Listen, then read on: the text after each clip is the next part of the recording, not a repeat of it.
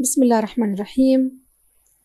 هنستكمل اليوم إن شاء الله في chapter ال intelligent agents حكينا في المحاضرة السابقة عن مفهوم ال agents وال environment اللي حواليه كيف بيستطيع قراءة inputs من ال environment على أساس يتخذ قرار بالأكشن اللي لازم يعمله آه، آه، بواسطة ال actuators تمام. حكينا عن rationality مصطلح ال rationality حكينا عن ال PEAS الأربع محددات لقياس الأداء.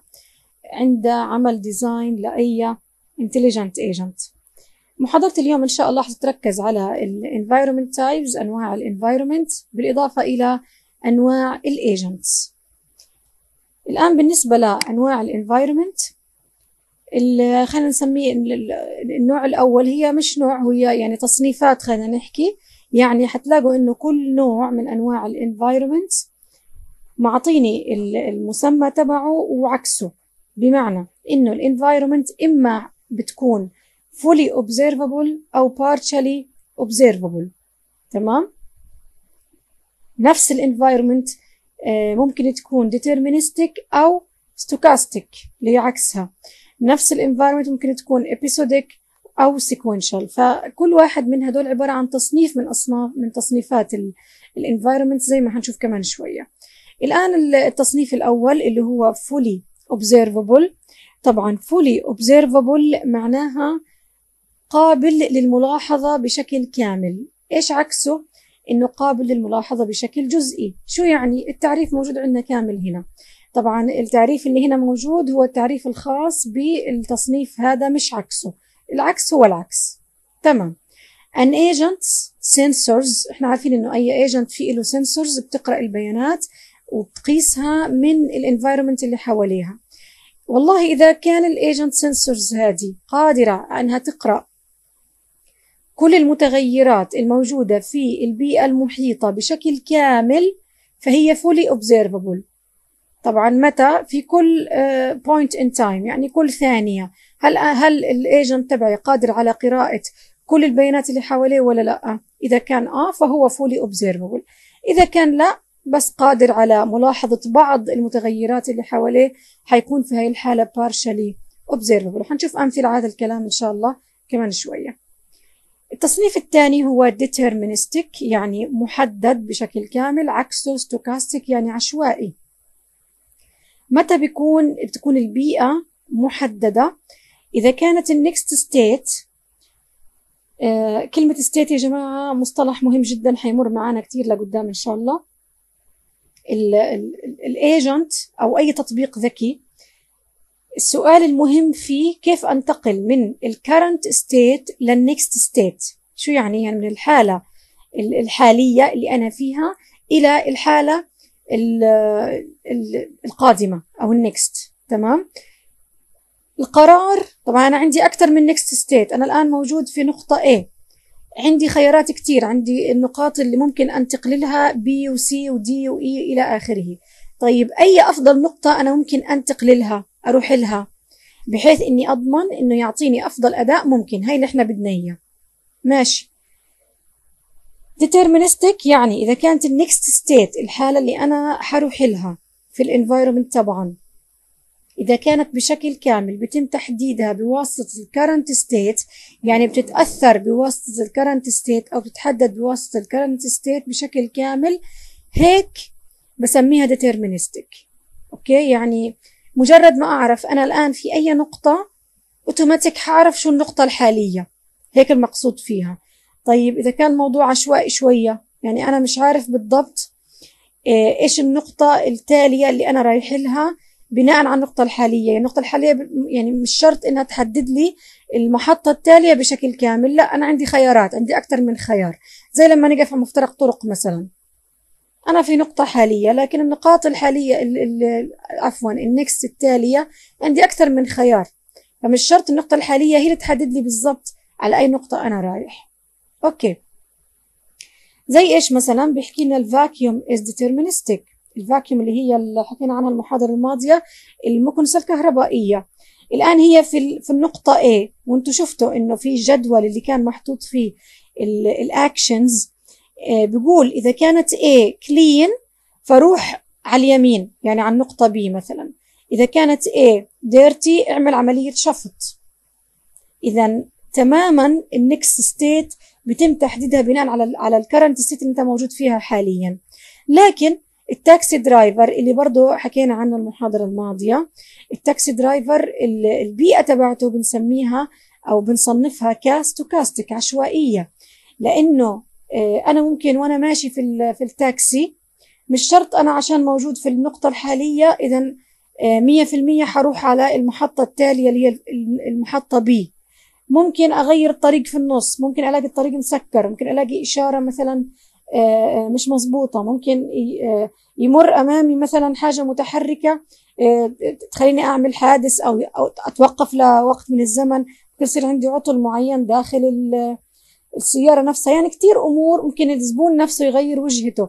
يعني كتير أمور ممكن تخلي الموضوع عشوائي نوعا ما بمعنى مش شرط الحالة الموجودين فيها الآن هي اللي تحدد لي بشكل كامل شو هي ال next state في هاي الحالة بنسميها stochastic في ملاحظة حطيتها أنا هنا إنه إذا كانت ال actions هذه آه، ممكن تتحدد ب other agents. إيش يعني other agents يعني ممكن تطبيقات حواليا تانية تأثر على شغلي برضو. okay؟ في هاي الحالة بتصير ال environment strategic إحنا دايما بنسمع بالخطة استراتيجية تخطيط استراتيجي.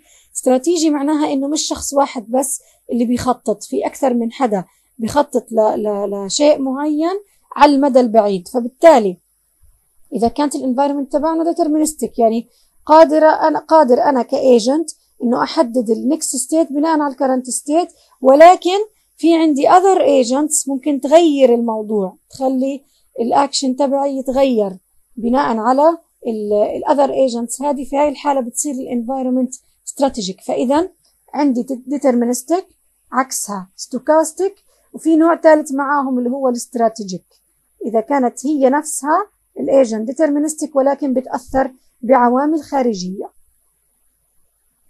التصنيف الثالث هو ال episodic وعكسه sequential طبعا episodic episode معناها حلقة. والحلقة أنتم عارفين لها بداية ولها نهاية. وفي أحداث بالنص طبعا الاحداث هذه آه، آه، يعني ال agent إذا كان مقسم خلينا نقول البيئة تبعته إلى مجموعة من الحلقات في خلال كل حلقة بيستقبل بيانات تمام؟ بيستقبل بيانات وبناء على هاي البيانات بروح بيعمل single action بروح بيعمل اكشن معين. okay؟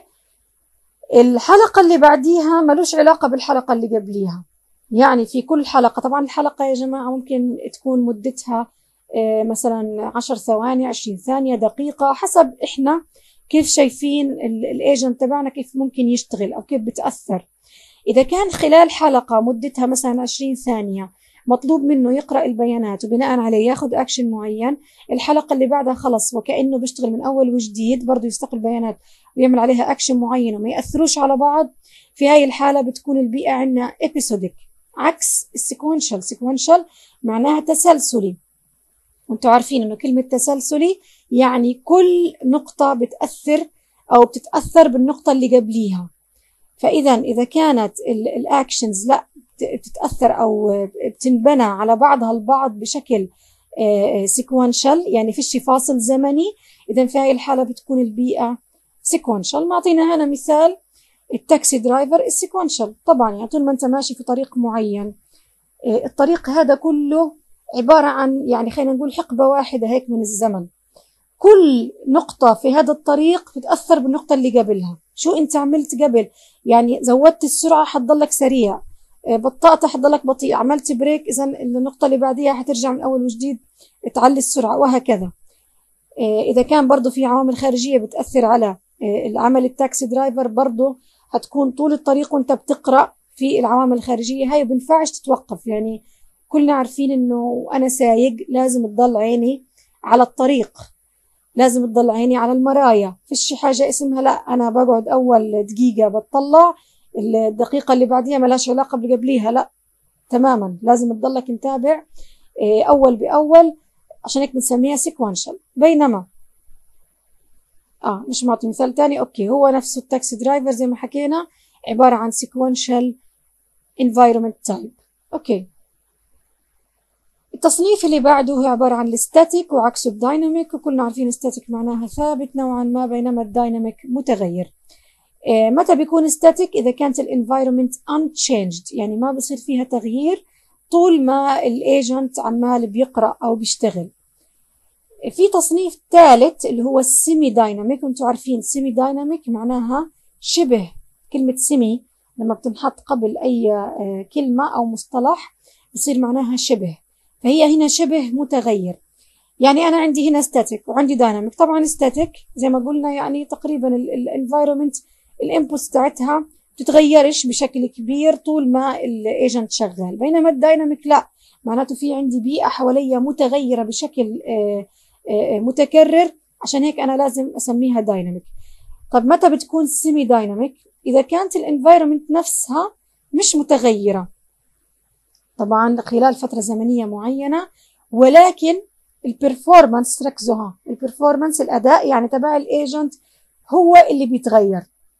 بمعنى كل ما آه، زاد الوقت علي البيئة بتتغيرش ولكن كل ما أخذت وقت أكثر أنا ك agent في الشغل أو في العمل كل ما الأداء تبعي بقل.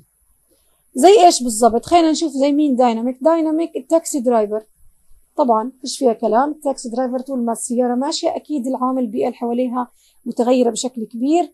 آه، زي ما حكينا إشارات ناس تتحرك آه، حيوانات تتحرك أي حاجة ممكن تنط في وجهي إذا لازم أكون متابع البيئة أول بأول. التشيس التشيس هو الشطرنج. لعبة الشطرنج طبعا static لأنه هي البيئة كبيئة غير يعني مش متغيرة. في عندي حالات وعندي أحجار تنحط في أماكن معينة. آه، الحركات معروفة ال actions يعني. static بمعنى زي ما حكينا البيئة غير متغيرة. في الشيء يعني عوامل خارجية بتأثر على البيئة. بينما ال chess اللي هو نفسه الشطرنج ولكن إيش معطينه؟ مع clock مع timer يعني مع مؤقت. آه، في ناس ممكن تلعب شطرنج بدون مؤقت. يعني خد راحتك في التفكير وخد راحتك آه، في الوقت اللي بدك تستهلكه في التفكير والتنفيذ. لكن في ناس بيقول لك لا إحنا حنلعب شطرنج زي البطولات اللي بتصير طبعا. ولكن آه، كل شخص معه مثلا مدة معينة للتفكير ولاتخاذ الأكشن. كل ما آه، زاد الوقت عليه وكل ما مثلا آه، تجاوز الوقت طبعا ال score تبعته بتقل. عشان هيك إحنا حكينا ال chess اللي بيكون معها timer أو clock البيئة تاعته بتكون semi dynamic لأنها مربوطة أو مرتبطة بإيش؟ ب clock. فهو في حاجة مقلقاه يعني يعني هو قاعد بيلعب مش قاعد بيفكر بس لا كمان عينه على التوقيت. التصنيف اللي بعده اللي هو discrete وعكسه continuous شبيه بال آه، اللي حكينا قبل هيك اللي هو ال episodic وال sequential لكن هنا بيحكي لنا متى بتكون discrete يعني منفصلة. اللي هي لما يكون في عندي limited number يعني عدد محدود معروف يعني من المتغيرات اللي أنا بدي أقرأها وبناء عليها ال actions اللي بدي أتخذها من طبعا آه، وبتكون كلها distinct يعني منفصلة عن بعضها البعض وكمان معرفة بشكل واضح. يعني أنا عارف تماما من بداية ما بدخل التطبيق أو من بداية ما بعمل design لهذا ال agent عارف إنه في مجموعة محددة من البيانات اللي بدي أقرأها وال actions اللي بدي أعملها. طبعا كلها معرفة بشكل واضح هيك بيكون discrete منفصلة. لكن متى بتكون continuous العكس إنه أنا مش عارف بالضبط يعني عندي إيه، مجموعة خلينا نقول لا نهائية مش limited مش محدودة مش معروفة. مجموعة لا نهائية من ال percepts اللي هي المتغيرات اللي بدنا نقرأها وبناء عليها الأكشن اللي بدي أعمله. زي مثلا ال chess آه، اللي هي لعبة شطرنج. معروف من البداية زي ما قلنا معروف من البداية إيش هي ال states الحالات اللي ممكن تصير. يعني أنا عارف إنه لو حركت مثلا القلعة في هذا الاتجاه أو الحصان في هذا الاتجاه شو ممكن يصير بعد هيك؟ تمام؟ بناء عليها بنبني states تانيين. ولكن عشان هيك هي discrete ولكن ال taxi driver is not ال taxi driver continuous البيئة تاعته لأنه زي ما حكينا الطريق تبعنا في كل نقطة في ممكن تجيني state جديدة. أنا يعني ممكن تأثر علي عوامل خارجية فبالتالي في states لا محدودة ممكن تمر آه، معايا. طبعا من الواضح إنه كبرمجة يعني أو ك coding ال discrete أسهل جدا من ال continuous لكن هذا مطلوب وهذا مطلوب طبعا. التصنيف اللي بعده اللي هو ال single agent عكسه ال multi agent اسمه single agent يعني في عندي في التطبيق فقط agent واحد هو المسؤول عن قراءة البيانات و عمل ال actions بينما العكس إنه يكون في عندي multi agent أكثر من agent طبعا هذه عاملة بالضبط زي الألعاب اللي بيكون فيها 1 player والالعاب بيكون فيها أكثر من player زي مثلا ال crossword اللي هو الكلمات الكلمات المتقاطعة آه، اللي بيكون فيها لاعب واحد بينما ال chess أكيد فيها two players وقيسوا عليها باقي يعني أنواع التطبيقات والألعاب. هاي كانت بالنسبة لتقريبا آه، كل ال environment types الموجودين معانا. آه، هو هيك ملخصها للأمانة بشكل يعني يعني مرتب شوية اللي هي كل أنواع ال environments اللي حكينا عنهم. تمام؟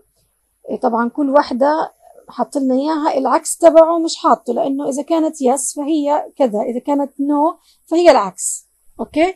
عامل جدول ومعطينا الثلاث آه، تطبيقات الأمثلة اللي كان بيحكيها خلال الشرح اللي هي chess with a clock chess without a clock وال taxi driving بالنسبة لل fully observable يعني ملاحظة بشكل كامل لأ ال chess with a clock yes ال chess without a clock برضو yes لأنه إحنا قادرين على أنه إحنا نقرأ المتغيرات بشكل آه، كامل. تمام؟ بالنسبة للشطرنج أصلا المتغيرات اللي أنا بدي أقرأها هي الأكشن اللي عملها اللاعب اللي قبالي بعد هيك أنا ببني عليها. فدايما بتكون yes ال taxi driving no إحنا حكينا طبعا لاحظوا ال taxi driving كله no no no فهو يعني كل الأنواع تبعته العكس من هدول لأنه زي ما قلنا متغير بشكل كبير جدا البيئة المحيطة فيه. deterministic محددة ولا لا؟ طبعا بالنسبة لل chess بالنوعين تبعتها سواء كانت ب clock أو بدون. strategic لأنه في عندي أكثر من agent اللاعب الأول واللاعب الثاني بيلعبوا دور في رسم الخطة الاستراتيجية تبعت اللعبة. episodic اللي هي زي ما حكينا هل هي عبارة عن حلقات معينة وكل حلقة ملاش علاقة باللي قبليها؟ أكيد لا. أنتوا عارفين الشطرنج يعني اللعبة الحالية بتحدد إيش ألعب آه، اللعبة اللي بعديها. عشان هيك هي no مش episodic static بالنسبة زي ما حكينا قبل هيك ال chess مع ال clock semi static بتكون semi static تمام اللي هي semi dynamic يعني. طبعا ال semi static هي نفسها ال semi dynamic لأنه شبه ثابت هو نفسه شبه آه، متحرك. آه، بينما بدون clock yes هي بتكون static لأنها ثابتة البيئة اللي حوالينا طبعا زي ما قلنا ال taxi driving no discrete منفصلة آه، بعضها عن بعض yes بمعنى إنه إحنا حكينا discrete منفصلة يا جماعة مش يعني ملهاش علاقة ببعض زي ال episodic لا. discrete يعني زي ما قلنا إحنا عندنا مجموعة محدودة limited عدد محدود من ال states إحنا عارفينه مسبقا من بداية اللعبة. فالشطرنج أكيد إحنا عارفين شو ال states اللي ممكن نمر فيها خلال اللعبة تبعتنا. single agent طبعا لل chess لا لل chess ولا ولا النوع الثاني من ال chess ولا التاكسي حتى آه، عبارة عن single agent لأنه أكثر من agent بيتحكموا في هاي الألعاب كلها أو في هاي التطبيقات كلها بشكل عام.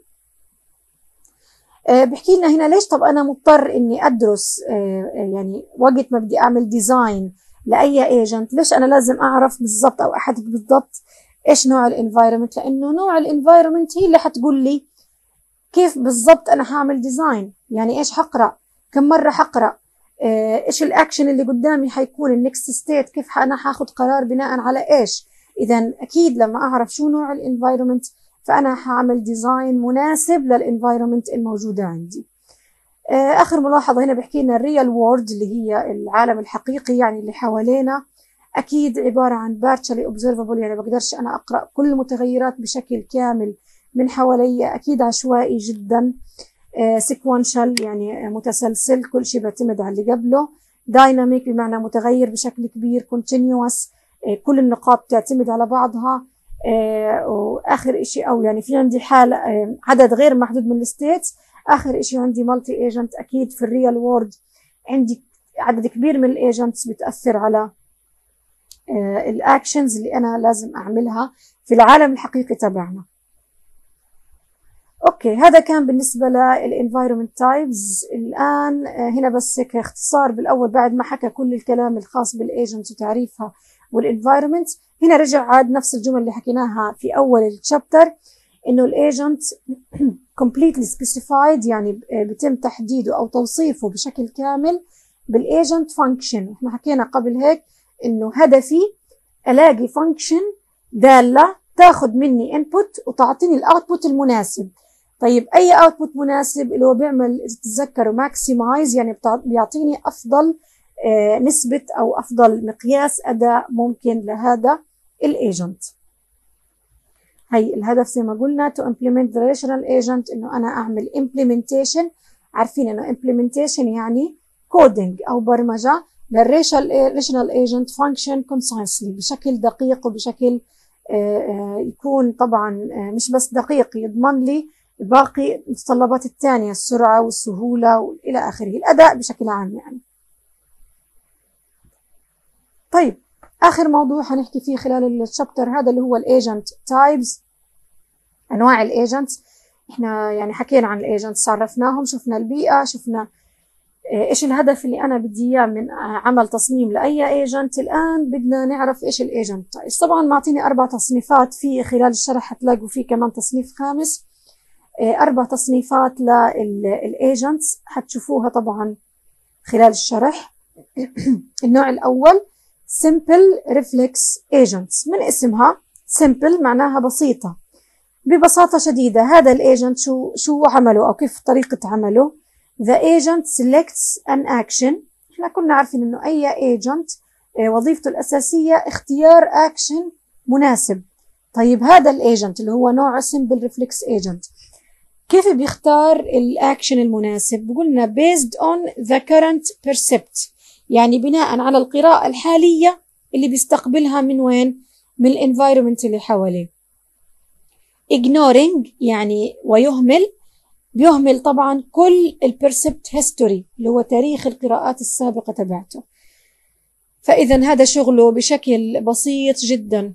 إيش بتعطيه أنت input حالي هو بيعطيك أكشن مباشرة ملوش علاقة بالسابق ولا بالتالي كمان. okay؟ زي ما أعطيني هنا طبعا مثال اللي هو ال alarm clock. ال alarm clock اللي هو المنبه. أنت المنبه لما بتيجي بتحطه لك علاقة لما هو بياخذ منك ساعة معينة وبينبهك على هذه الساعة. هل بيقول لك لا أنت امبارح حطيت المنبه على الساعة كذا وبناء عليه أنا بدي أعمل لك مش لا ملوش علاقة ولا عمره أصلا.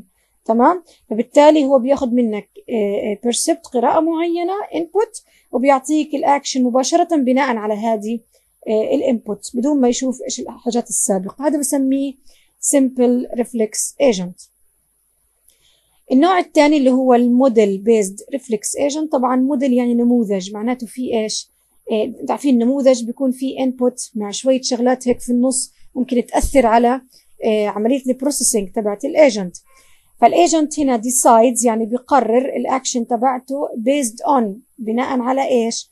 على predefined predefined يعني معرفة بشكل سابق أو معرف مسبقا. اذا في عنده مجموعة من ال condition action مجموعة من الشروط آه، آه، حسب الأكشن طبعا المعطى له آه، قواعد معينة بناء عليها هو بيعطيني أكشن محدد.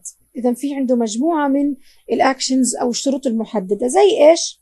زي ال telephone operator أو بنسميه answering machine ال answer machine اللي هو إيش بنسميها؟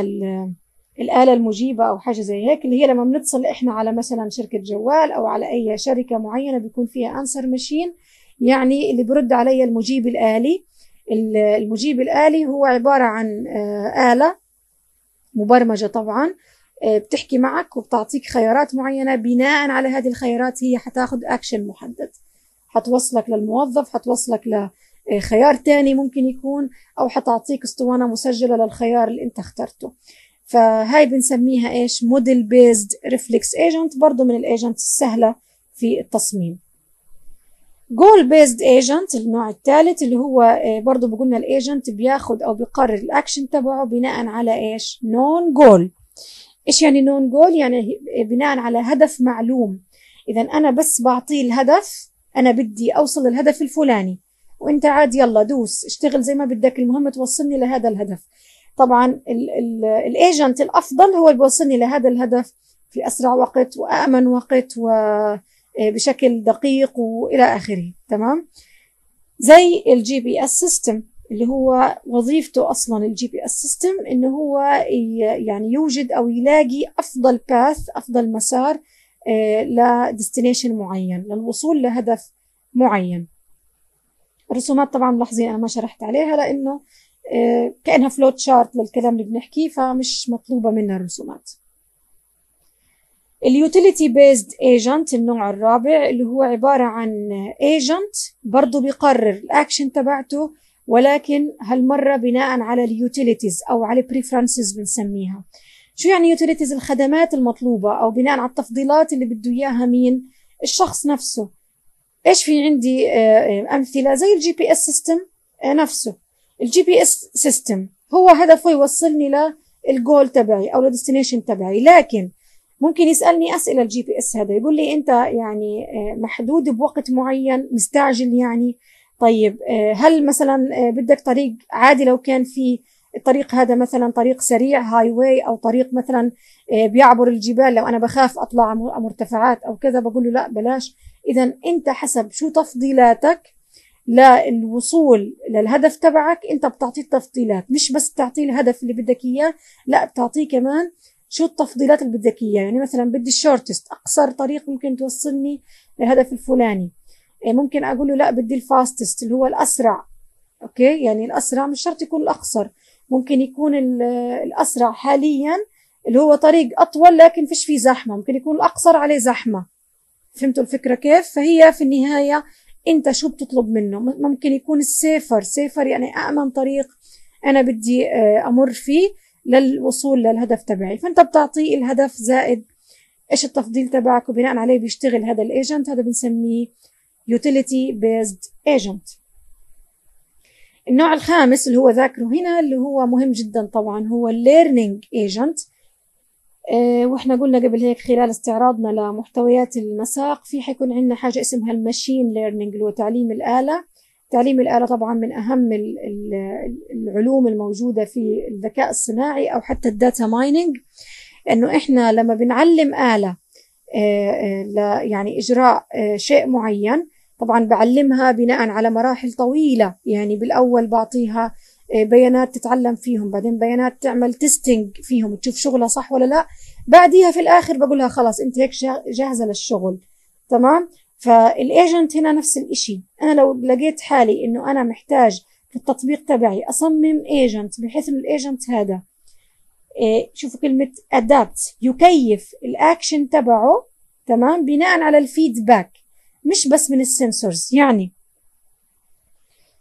إحنا حكينا إنه ال agent بيستقبل من ال sensors inputs معينة وبناء عليها بياخذ اكشن طيب لو كان مش بس ال sensors اللي بتأثر على العمل تبعي كمان ال feedback اللي هي التغذية الراجعة من agents ثانية من ال users نفسهم من ال output اللي طلعت معايا من المرة الأولى من وين ما كان.